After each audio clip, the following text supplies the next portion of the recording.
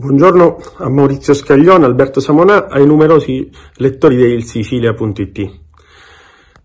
Naturalmente mi rivolgo come Presidente Feralberghi Sicilia e come amministratore delegato dell'aeroporto di Catania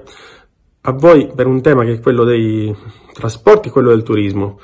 Quest'ultimo è quello che è andato sicuramente per primo in crisi e che probabilmente sarà l'ultimo a rialzarsi perché una volta, e preghiamo Dio sia prestissimo, superato il problema del coronavirus, è chiaro che non ci si rimetterà subito in moto o che la prima impellenza non sarà quella di viaggiare.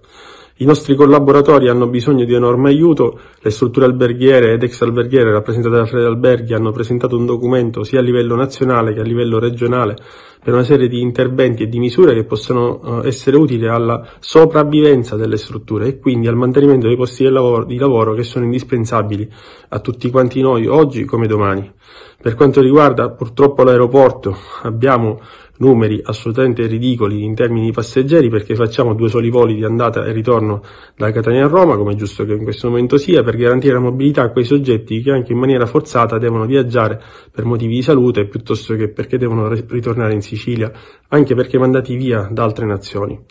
Noi in questo momento non vogliamo lamentarci, ma vogliamo ribadire che oggi è il momento della solidarietà, intanto a tutti quelli che come noi, ma in maniera più importante di noi, sono costretti a lavorare. Mi penso ai medici, penso a tutti quelli che sono paramedici, agli infermieri, ai farmacisti, a tutti quelli che eroicamente oggi stanno facendo senza lamentarsi il proprio lavoro. Noi vogliamo dare un messaggio di solidarietà, ma vogliamo anche dire a chi ci governa che è senz'altro il momento a tutti i livelli di pensare alla povertà che sempre più in maniera diffusa eh, continua e immaginiamo possa essere un rischio. Penso ad esempio al settore alberghiero, alle strutture stagionali che si avvierebbero, si sarebbero avviate alla riapertura e che non potranno riassumere nessuno dei lavoratori, i quali rimarranno assolutamente disoccupati e quindi eh, oggi vanno immaginate misure drastiche, non per qualche settimana, per sostenere il reddito delle persone e quindi garantirgli la dignità. E a quella ci rivolgiamo per quanto riguarda, ripeto, settore alberghiero e extraalberghiero, siamo in linea,